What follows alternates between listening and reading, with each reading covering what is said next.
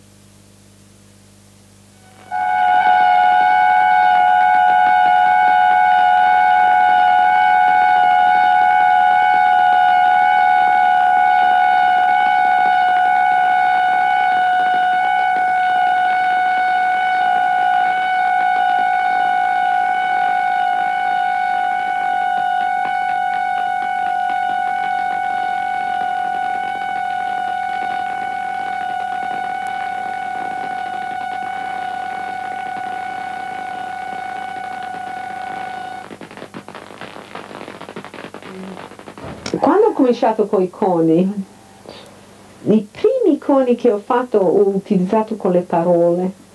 Avevo già iniziato a, a utilizzare il movimento con cilindri, avevo fatto dei cilindri uh, di acciaio, di vari materiali e avevo messo sopra i cilindri parole, lettere e quando si giravano le parole sparivano e diventavano energia. Si vedeva la vibrazione della parola invece di vedere la parola. E avevo l'impressione che molte parole avevano perso l'energia. E allora per ridare alla parola l'energia volevo esplodere la parola e diventare energia di nuovo, vibrazione e energia.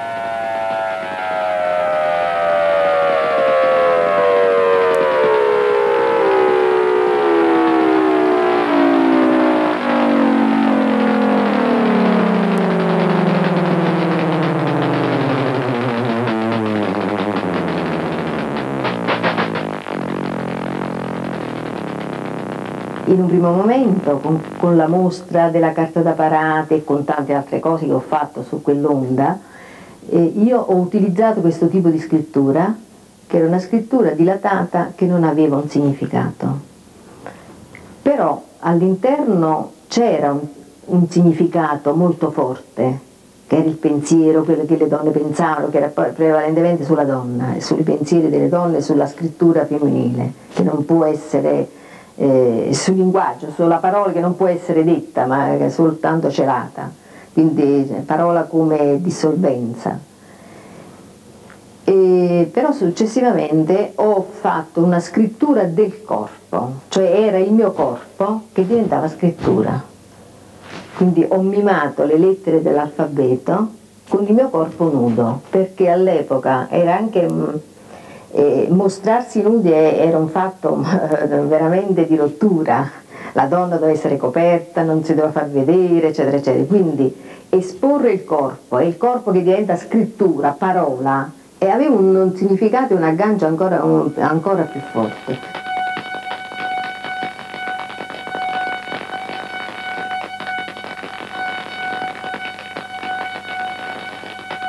Io praticamente mi sono riversata sol, to, totalmente sulla scrittura. E ho creato il mio mondo all'interno di questo registro strettissimo che è la scrittura e che nel contempo l'ho anche aperto, mentre la lingua è legata ad un, ad un eh, gruppo di persone che linguisticamente chiaramente sono, eh, convergono in questa eh, lingua, eh, i miei libri possono essere lette da tutti, non soltanto da chi sa leggere, ma anche dagli analfabeti. Mi sono staccata dalla scrittura e che aveva una componente anche molto nevrotica, eh, perché questa parola ripetuta ossessiva, questo horror vacui, mm, era anche un sintomo di una mia esigenza mh, mm, che si stava come acquietando, no? questo, quindi uh, la domanda mi sembra giusta, quindi questo incontro con queste altre realtà che mi ha, mi ha reso più forte e quindi mi ha reso anche più libera di fare un altro tipo di ricerca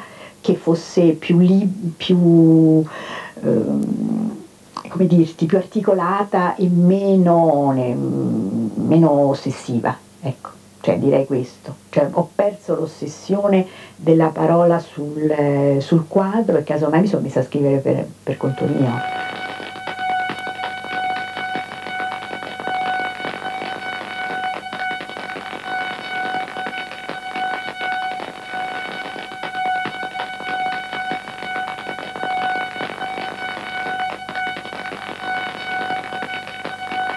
Il pennello, loro scrivono col pennello. La scrittura è sacra perché è la comunicazione tra esseri umani al di là della vita personale, quindi continua, no?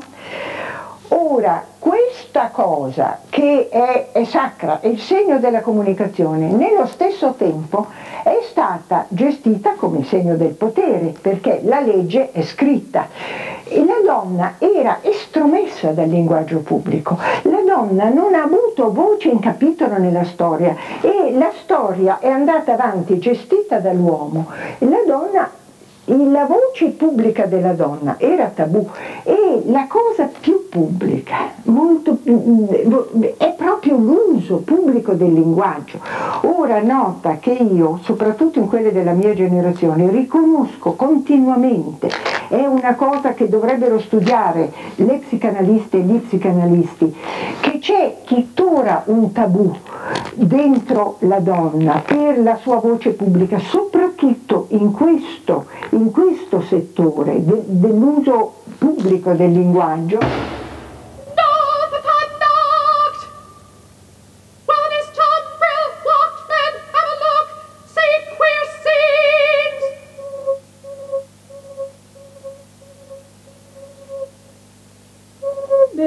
porci con la storia? E porci con la gloria.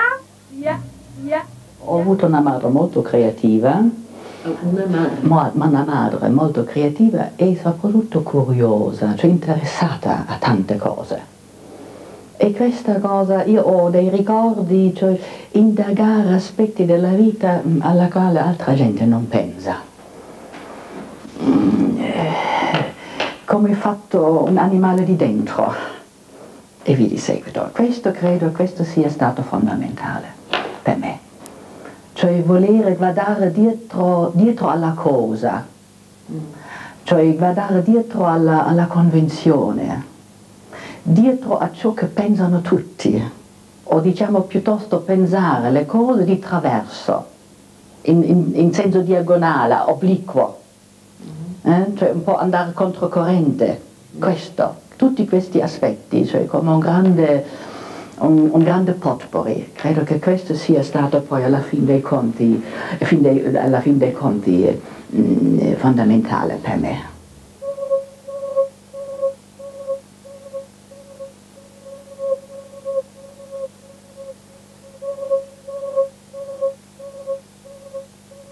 Mio padre aveva una libreria e mi permetteva nella sua libreria, che era di scientifico perché era veterinario, di scrivere nel frontespizio dove non c'è stampato, perché mi piacevano molto guardare questi libri. Lui ha detto tanto basta che non scarapocchi dentro, prima della scuola elementare, tu puoi scrivere queste tue pagine e li ho tutti disegnati, tutti i suoi libri li ho disegnati. Questo per me era una cosa molto importante e forse proprio questo mi ha dato questo uh, piacere del libro perché era come una parte di, mm, del padre importante che mi concedeva in questi libri. Infatti tutta la sua libreria avanti e indietro era tutto scarapocchiato, disegnato eh, da me. E questo eh, mi ha fatto un, so, mi ha gratificato moltissimo.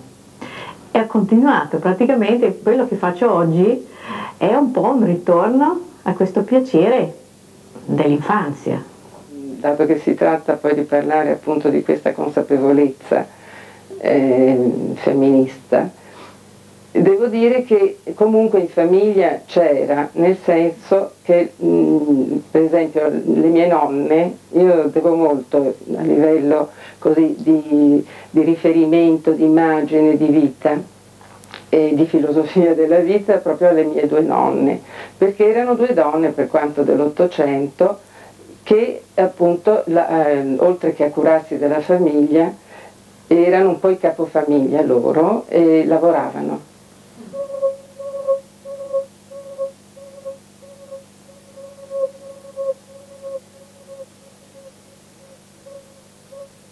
che volevo dire è che lì ci sono fotografie di me, sei anni, sette anni, sempre, sempre a disegnare, sempre a fare qualche cosa.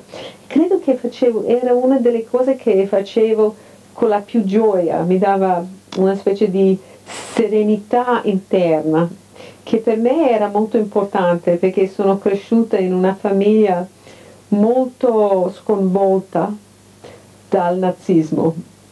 Quando io o disegnavo o, o, facevo per esempio facevo con l'argile, non forme, um, per me uh, mi sentivo come se potevo uh, centrarmi su me stesso. No? Non ero, um, come si può dire, scatenato. L'italiano non è mia lingua, eh? non ero dispersa, sì, uh, esplosa da tutta questa um, molteplicità, un senso che era mia famiglia.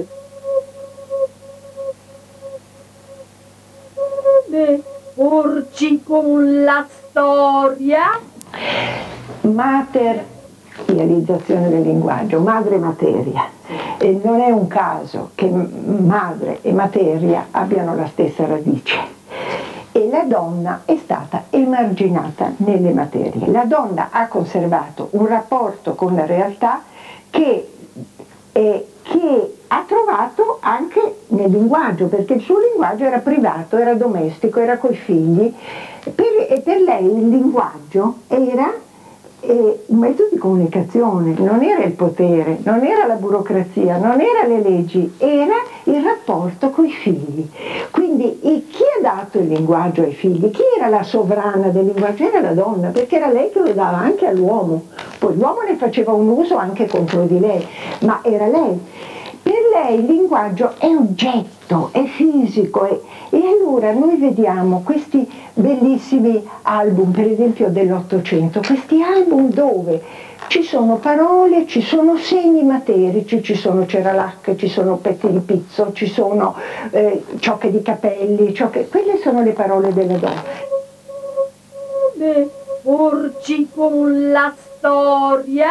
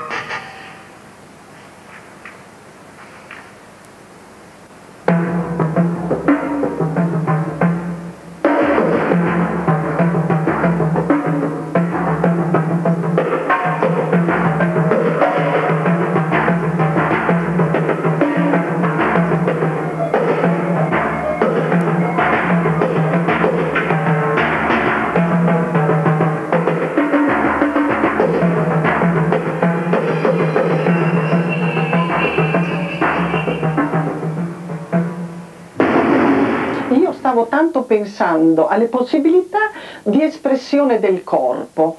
proprio, del, proprio le, le, primitive eh, possibilità di, di, di comunicazione. E, e, quindi il tuo corpo eh, sarà quello che farà la gestualità, il mio quello che disegnerà su una superficie, tu sulla, sul uno spazio, tu sarai uno spazio e una voce dobbiamo trovare. E allora subito abbiamo pensato alla voce più bella di quel momento e che ancora rimane, è quella di Katy Berberian, perché deve essere tutto del corpo, quindi voce e il corpo che si, che si muove e, e, che, e che dinamizza le cose che proietteremo.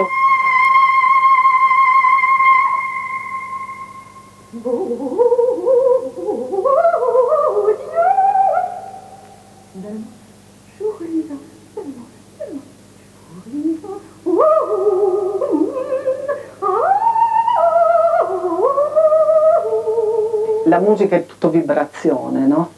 È la vibrazione che entra nel corpo mio e passando per la mente io eh, questa vibrazione poi la do come orma su, su, una, su una superficie.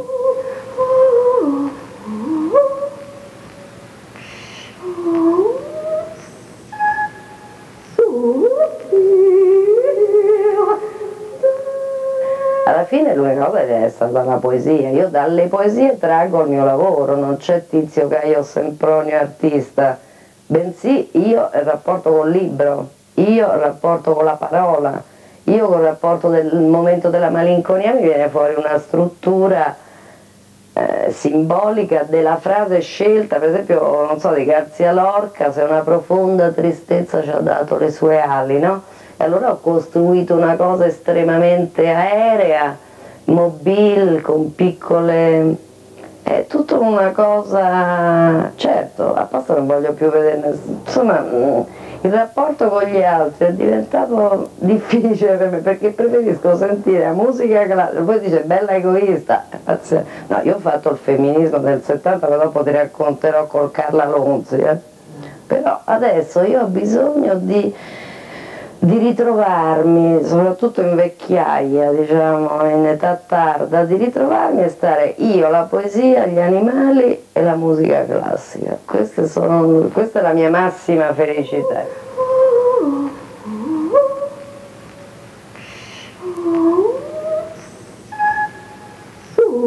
Diciamo che il quadro, che proprio il quadro, la tela, mi limitava un po', quindi io mi giravo e mi rigiravo pur muovendo le forme geometriche, però sempre nello stesso spazio. Quindi avevo bisogno di espandermi, è stato un bisogno, quindi chiaramente è venuto per conto suo, non è che certamente queste cose uno se le, non so come devo dire, arrivano, no? E quindi ho fatto questa, questa scrittura sul pentagramma perché il pentagramma è infinito, quindi chiaramente mi, mi levava, mi toglieva tutti eh, gli ostacoli, no? E allora è andata così.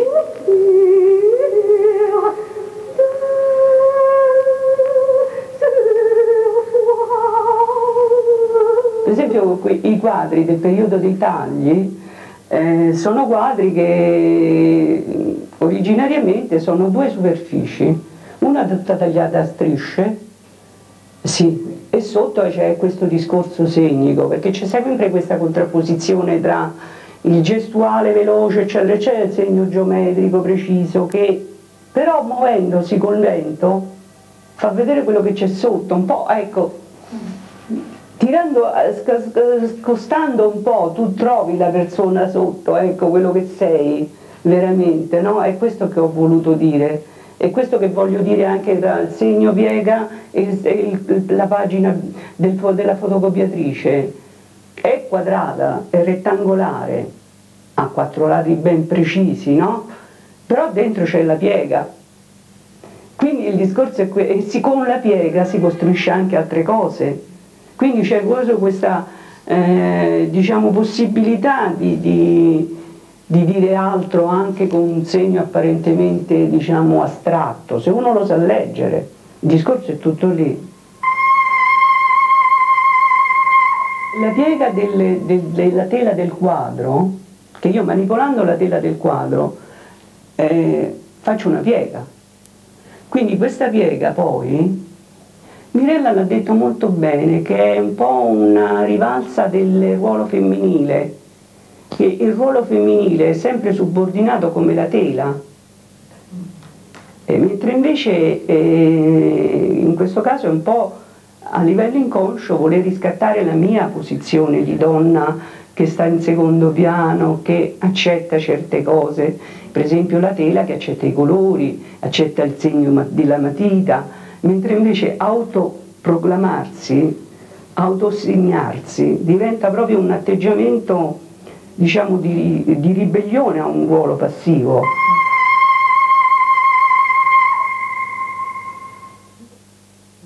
Cioè, io faccio delle rivisitazioni letterarie e il primo che ho fatto è stato seguendo il libro di Breton Najat. Mm.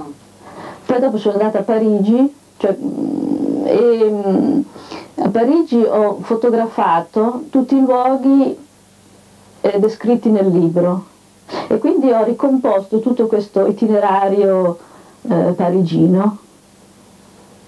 È venuto fuori un libro. Sì, è vero, no, è emozionante perché era un po' entrare anche dentro un po' la, la sua testa, no? E poi con questo personaggio femminile Najah che era così particolare, no? un po' maga, un po'... che forse neanche esisteva nemmeno sulla fantasia di, di Breton, però eh, un po' immedesimarsi in queste due persone che andavano per Parigi. Mm. E, cioè per me è difficile mm, parlare, anche scrivere, quindi eh, l'usare le parole degli altri è un po' come se fossero le mie, cioè, cioè io scelgo da, da, quello che gli altri scrivono, scelgo le parole che, che, vanno, che vanno, bene a me, no? E quindi è un po' come farle mie, ecco. Mi nascondo un po' dietro, dietro questi personaggi.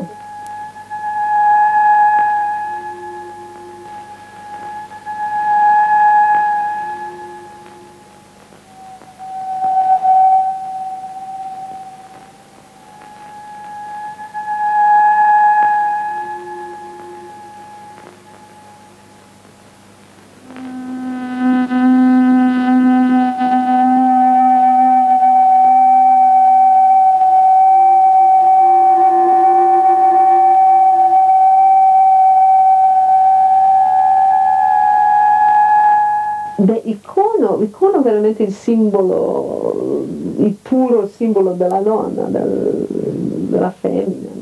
È, è, molto anziano anche come simbolo, no? è stato un simbolo femminile probabilmente dal, dal, da 2-3 mila anni, forse 5 mila anni, è molto vecchio.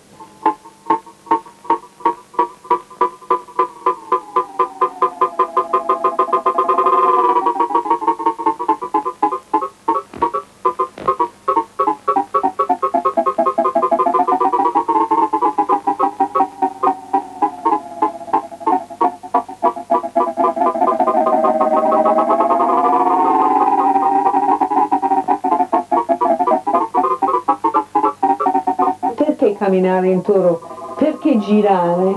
Io credo perché noi giriamo, eh? il mondo gira, no? Spero. La rotazione è un movimento fondamentale dell'esistenza. E per quello che io credo che ho utilizzato questo, io non ho mai utilizzato quasi, quasi mai un altro movimento nel mio lavoro, tutto basato sulla rotazione.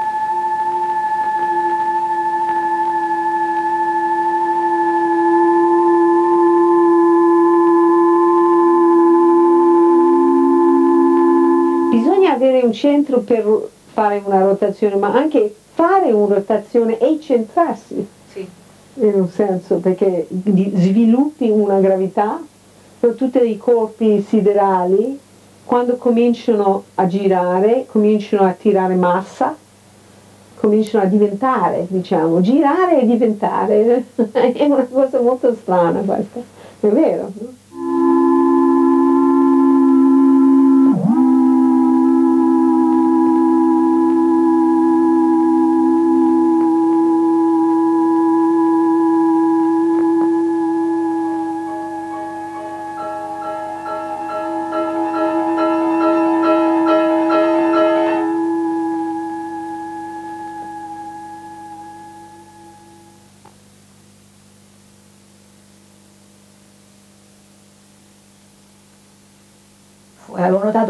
In fondo tutti gli artisti che hanno avuto un riconoscimento forte lo hanno avuto perché appartenevano a un gruppo, no? tipo fai, fai conto gruppo Forma, eh, gruppo Origine, i futuristi, hanno fatto il manifesto, eccetera. E io questo cercavo di inculcarlo anche alle mie colleghe.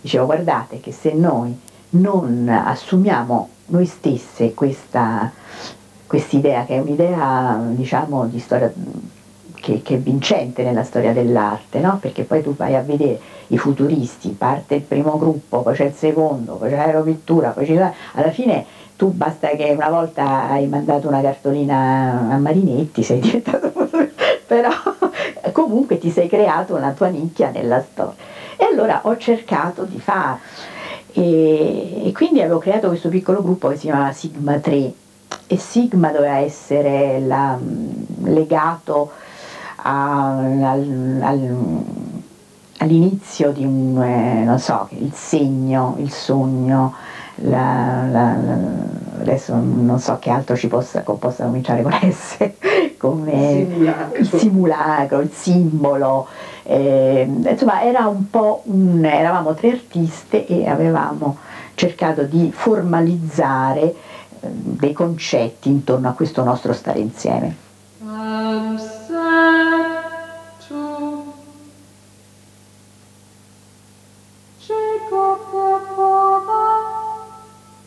Ho scelto dei, delle parole che consistessero in un'unica lettera alfabetica e una è la E che vuol dire anche, io e te, e l'altra è la O che vuol dire oppure, no? E quindi è l'individualismo, è la cosa chiusa, eccetera. Attraverso l'uso continuo di queste lettere, ho fatto delle operazioni molto chiare, molto semplici, proprio con soltanto delle E o soltanto delle O. L'H l'ho vista come il logos, come la costruzione, proprio l'organizzazione della cultura.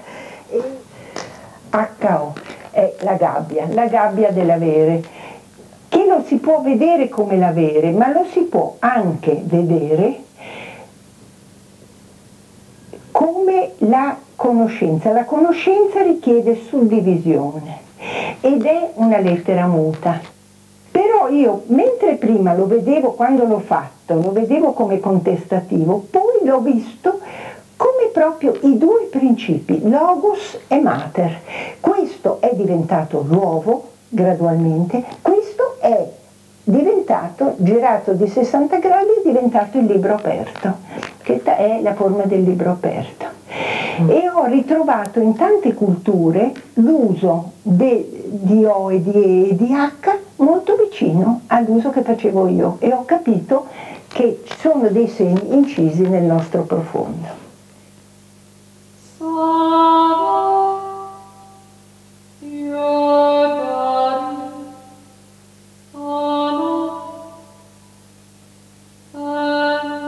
E ho fatto una seconda, ne ho fatte diverse, poi una seconda installazione a, proprio a Bologna, alla Galleria d'Arte Moderna, e, mm, alla Metafisica del Quotidiano e poi anche precedentemente un'altra installazione. Mi avevano dato due pareti e io avevo di nuovo riattaccata la casa da parati e avevo messo anche dei mobili, un cassettone, due poltrone, eccetera. Però in quell'occasione messa, eh, avevo indossato anche una, un vestito fatto di carta da parati scritto ed io stavo attaccata alla parete che la mostra era intitolata Io sono una carta d'apparato. Allora in quell'occasione, e vorrei leggere questa cosa perché è emblematica per me, insomma è anche... E, e in quell'occasione io recitavo, così mentre stavo lì attaccata, ogni dieci minuti recitavo questa poesia. Io sono una carta a quadrettini, io sono una carta colorata, io sono una carta velina, io sono una carta strappata, io sono una carta assorbente, io sono una carta vetrata, io sono una carta opaca, io sono una carta perforata, io sono una carta trasparente, io sono una carta piegata, io sono una carta semplice, io sono una carta bollata, io sono una carta da imballaggio, io sono una carta da lettera, io sono una carta d'apparato. Io sono una carta, io sono un cartone, un cartoncino, una cartuccia e va sparata.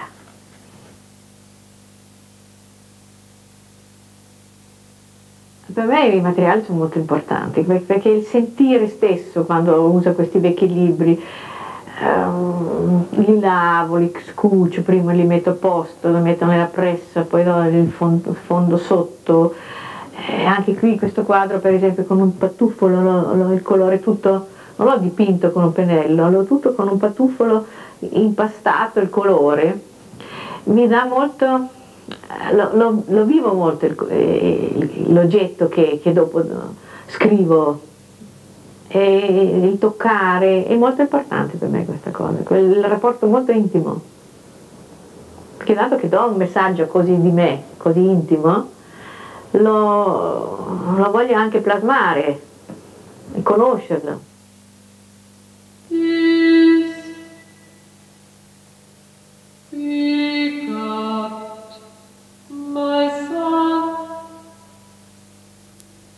Dunque il lavoro sul linguaggio era appunto questo eh, desiderio di integrare i vari linguaggi espressivi e quindi appunto il segno grafico la parola.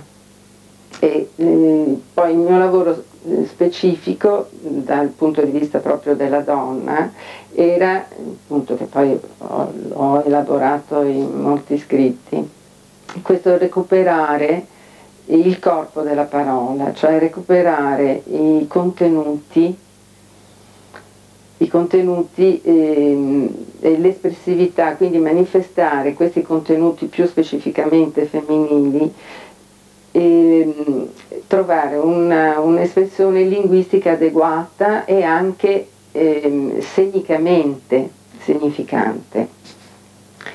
Per cui appunto non so, si recuperava la calligrafia anche per esempio, poi l'oggetto, l'immagine.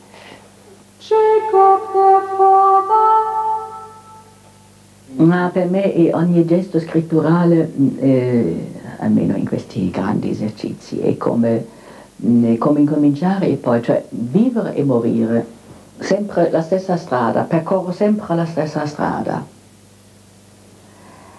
E poi, eh, perché siccome risponde al respiro, cioè si crea questo ritmo e, e questo ritmo eh, fa sì che io alla fine, pur stanchissima, perdo però il mio peso, cioè perdo, cioè entro evidentemente in una sfera, è difficile raccontare queste cose entro in una sfera che non appartiene al concreto, anche se concretamente faccio. Ecco. Cioè, ehm, secondo me è un, è una, un lavoro eh, attraverso il quale riesco a sublimarmi. Cioè, eh, perde il peso, e, il peso proprio nel senso del fardello del corpo. Cioè entra in un'altra dimensione. Infatti il mio lavoro io lo devo fare, cioè, è come, come, chi deve fare la preghiera, come deve, deve fare, cioè, io il mio lavoro, cioè mia, il mio esercizio, la mia pratica, io lo devo fare. È la mia droga. Ah, la pratica bene, l'esercizio bene. È la mia droga. Sono io...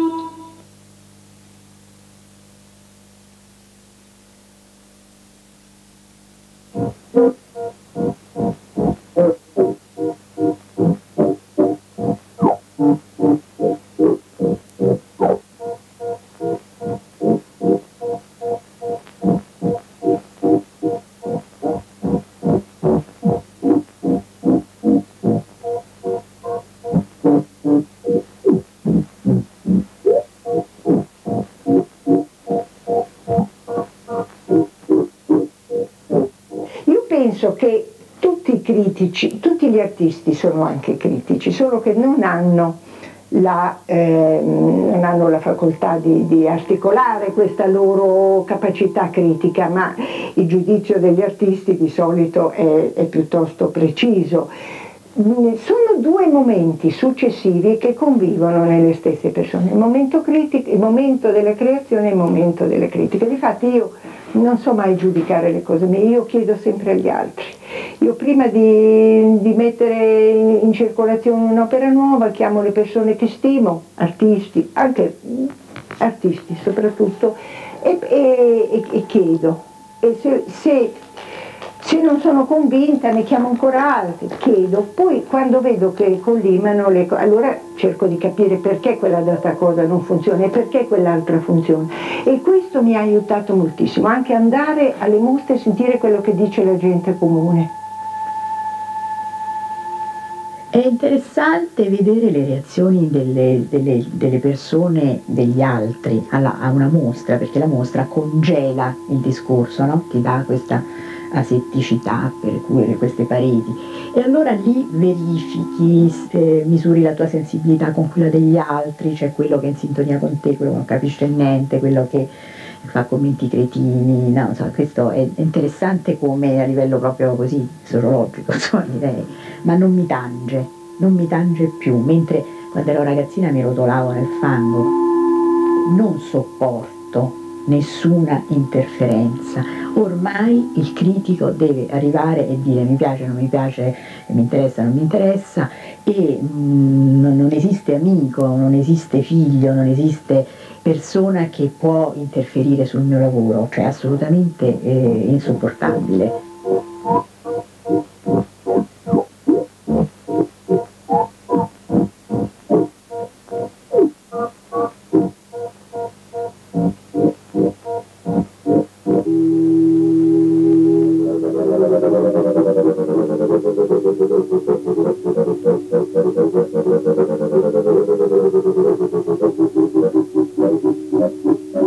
58, fine del 58 sono andata a Parigi, avevo 18 anni. Era la, la guerra in Algeria, in Algeria um, prima di De Gaulle, um, era la fine del surrealismo e nessuno ci prendeva al serio, eh? noi eravamo veramente le ragazzine. è interessante anche questo perché è differente oggi, una ragazza di una donna di 18-19 anni che vuole essere artista non è una ragazzina, ma lì eri. E anche le donne. Le donne avevano dei problemi comunque. Per le donne avevano eh. E anche le donne artiste trattavano le altre donne un po' Meret Oppenheim ho conosciuto. Sì, ma ho conosciuto, ma così, perché lei non guardava me, che ero una donna. Ero una, una ragazza, non solo una donna, una ragazza, una donna giovane. Non le interessava veramente. No, io non ho niente contro lei, ma perché queste pregiudizie io credo facevano veramente parte del momento e non credo che si può probabilmente anch'io le avevo. Io credo che era, era parte di quel momento, di quella, anche se un, una donna voleva essere femminista, è, è molto rara le donne che veramente praticavano questo nel senso di essere aperte a altre donne giovani che non potevano aiutarle, che erano da aiutare, non da, certo. uh, da ricevere. No? Allora era abbastanza dura uh, e, e, e gli artisti uomini erano molto duri.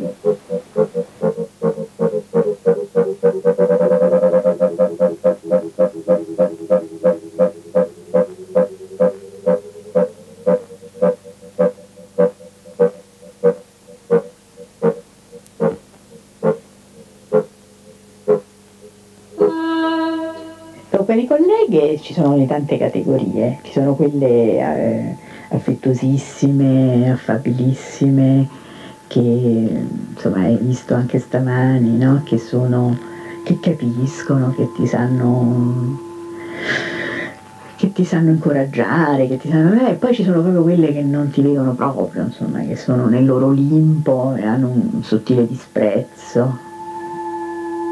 Ma io rido, ma a dire la verità non è, non è, non è da ridere, perché io credo che questo è il problema con le donne, le, le artiste donne, è che da generazione in generazione le giovani donne non vogliono sapere niente, nulla dalle altre e non, non possono anche essere influenzate, non mai no, non, um, insomma non, non c'è un, una lega, o poca lega. Quello che secondo me non esiste ancora è mm, la gioia di sapere che se qualcuno ce l'ha fatta ce la puoi fare anche tu o, o se, se, tu ce l'hai, fa, ce l'hai fatta è giusto che ce la faccia anche qualcun altro. Ecco, c'è questo spirito comune.